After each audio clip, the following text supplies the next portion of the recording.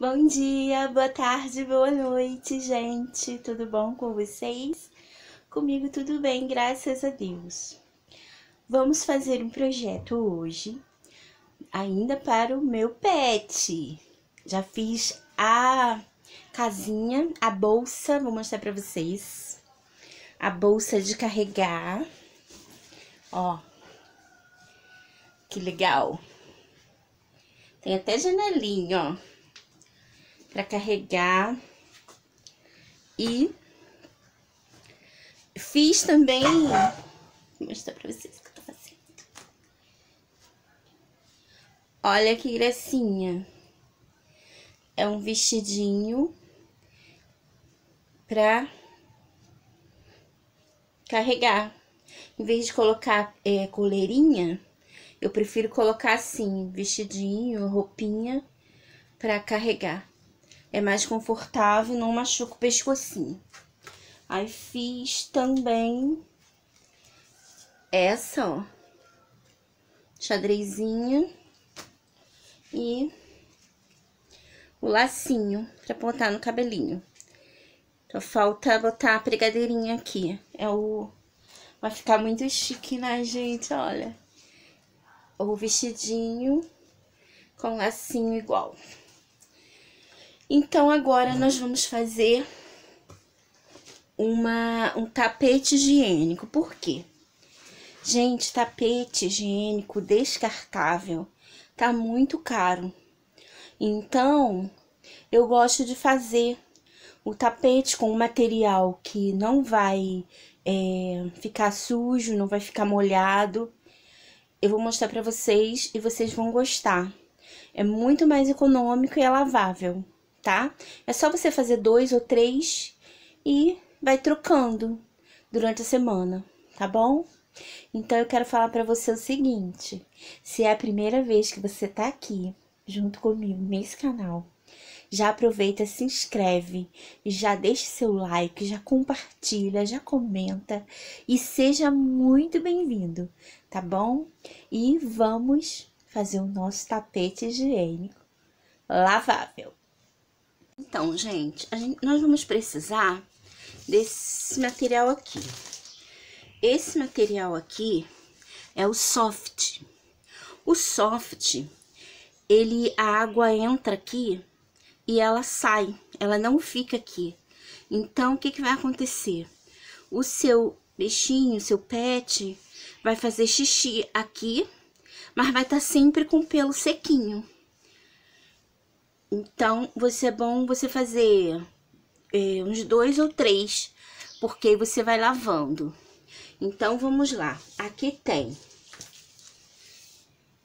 Vou dar a medida pra você. Esse aqui que eu vou fazer é de 65 por 50. 65 por 50. Aí, você vai precisar do soft. Você vai precisar dessa manta. É aquelas mantas de fazer dedom, tá?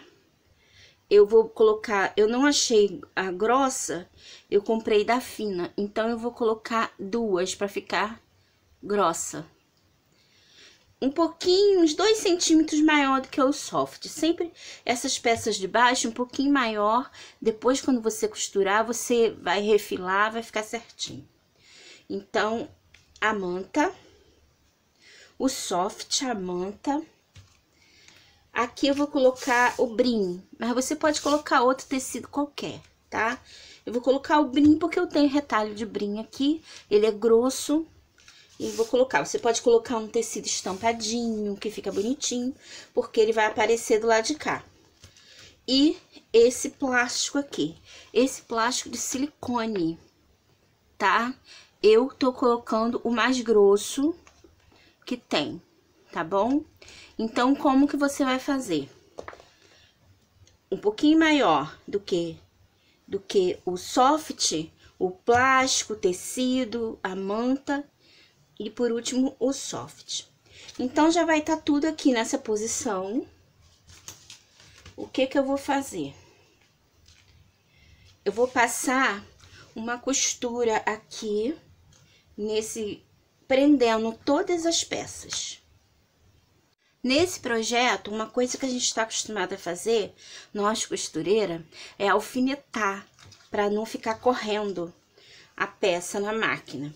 Só que nesse caso, você não pode alfinetar. Por quê? Se você alfinetar, você vai furar esse plástico e depois vai vazar. A ideia é, é não vazar para o seu chão ficar sempre limpinho. Lá o lugar onde você escolher para o seu seu bichinho ficar, ficar sempre limpinho o chão, tá bom? Então, você vai acostumar ele a fazer aqui em cima. E ele vai ficar sempre sequinho, tá? Então, ó, eu prendi com pregador, tá vendo? Prendi com pregador para não correr. E vou passar uma costura de segurança em volta todo. Já costurei, passei a costura em toda a volta, ó Aqui tá o plástico. Agora, eu vou fazer o acabamento com esse viés. O importante é você saber que esse, esse soft tem que ser cor clara, ou assim, bege, ou branco. Pra quando o seu bichinho fizer xixi, você saber pela cor identificar se ele está bem, está tudo bem com ele. E dá para identificar pela cor, tá bom? Então, agora eu vou pregar esse viés aqui, desse lado, e vou virar pra cá, pra fazer o acabamento. Preguei o viés, ó. Preguei do lado de cá, assim. Agora eu vou virar.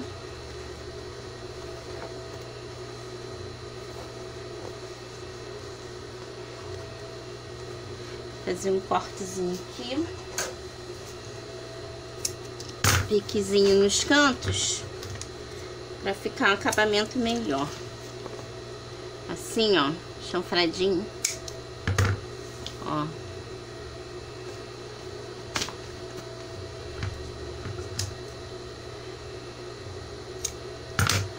Aí eu vou virar. Aí aqui eu vou fazer a costurinha assim. Nele, nele todinho. Então, gente, olha. Terminei. Fiz com esse verde aqui embaixo e esse verde aqui. Fiz dois tons. Fiz dois tapetes. Eu gosto de ter sempre dois ou três. Depois, mais pra frente, eu vou fazer outro. Porque eu gosto de deixar no máximo dois dias, de trocar. De dois em dois dias trocar. Porque assim, é, não fica cheiro na casa. A casa fica sempre cheirosinha. É que eu faça um vídeo ensinando você fazer esse vestidinho peitoral, tá? É bem confortável para você carregar o seu pet. Tá vendo? Você deixa aqui embaixo na descrição, aqui nos comentários. Você deixa nos comentários falando que você quer que eu faça um vídeo ensinando a fazer esse peitoral, tá bom?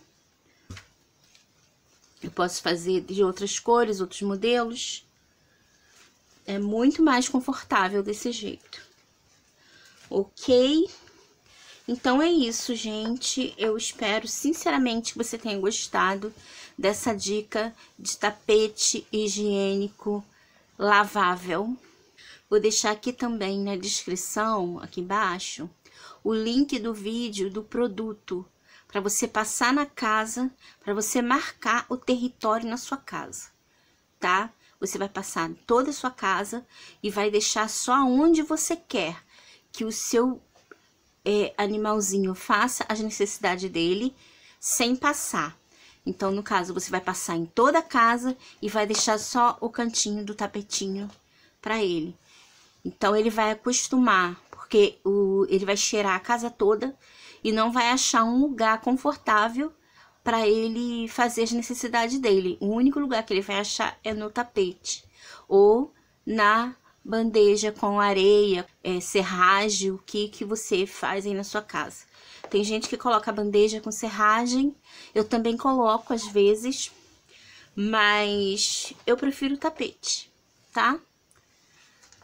Então é isso, espero que você tenha gostado desse vídeo e fique com Deus e até o próximo vídeo, tá bom?